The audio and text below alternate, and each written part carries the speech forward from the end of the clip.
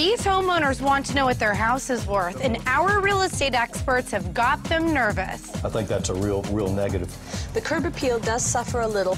Find out if anyone's getting the return they're after and who might be headed for a loss. Honey, I don't know. Next on My House is Worth What?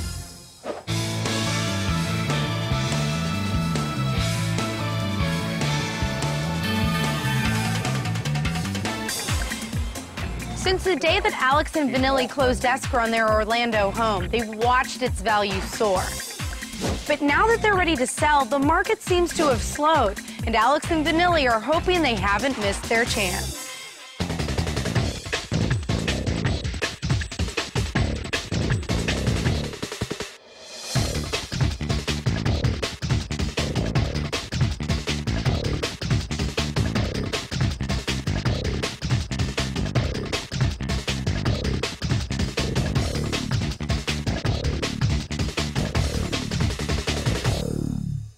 When I first saw the house, it was cute. I did not think it was that big, but Alex was just so into the school and just the whole amenities of the neighborhood.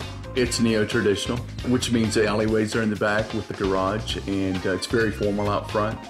The couple paid 209,000 when they bought the house in 2003 and have since added another 10 in upgrades.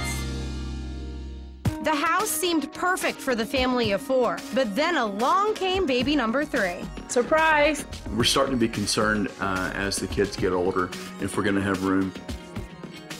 My four-year-old actually doesn't want the baby in the room with him, and sometimes he kicks the baby stuff out of the room. Sometimes we think we should build a second floor on the house, and uh, sometimes we think let's sell the house and get something bigger, but then we're scared that, you know, are we going to be able to afford it? We still like the neighborhood. So it's hard for us to make a concrete decision until we know how much is our house worth. I would say the house is probably worth 450, maybe 500,000. Uh, that's what we're wishing for. Yeah, wishful thinking.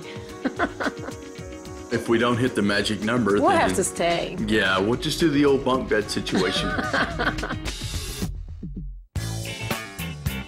A year ago, Orlando was a very hot market, and now things have just really slowed down.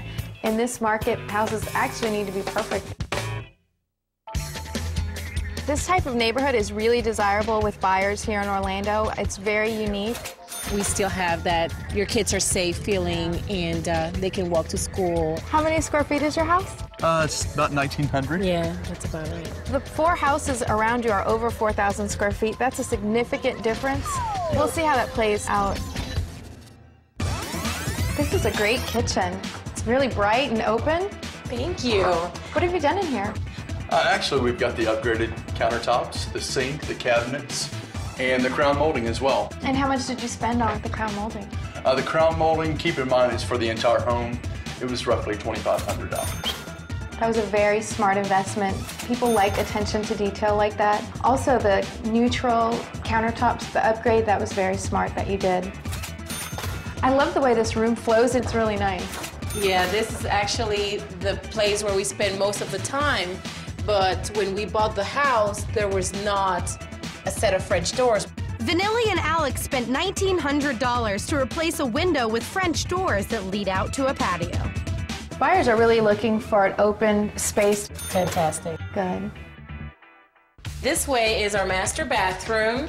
It's a nice master bathroom, but we're comparing it to the other homes in the neighborhood. It does feel small. Some of the things I would recommend changing is maybe moving the flower arrangement. So you really think just moving the flower arrangement would make it roomier?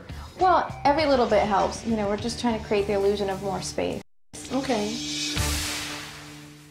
And come this way. This is our patio where we spend most of our afternoons with the children. We actually added the screen enclosure and the foundation, of course, the French doors like we talked about earlier. Uh, we added the spa and uh, the privacy fence outside here. It's very nice. Just on your lanai screen enclosure area, that's going to add about $10,000 in value to your house. Right. The spa area, since it's not in ground, I would recommend we move the spa off the property. We want to show this open space. Your backyard is great. I see you've got a trampoline out there. Yeah, the kids love it. Well, that's another thing that's taking up a lot of your valuable space out here. I would definitely recommend moving that out of the way. Mm-hmm. Buyers like to see wide open spaces that they can utilize. Right, right. Though clearly small, the house is in good shape. Would Josie be willing to list it for the couple's goal of $450,000? I mean, I don't know.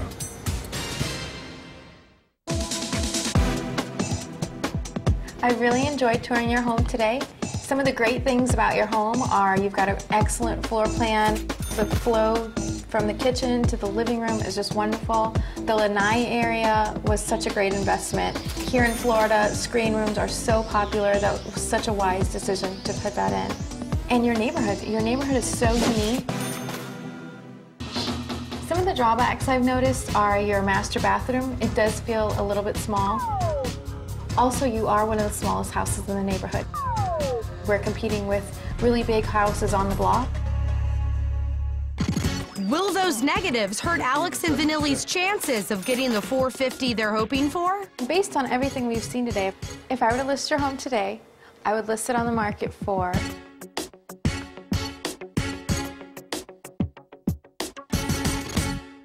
$400,000. Really? 400,000? The one down the street sold for 390 and there was no upgrades applied to it.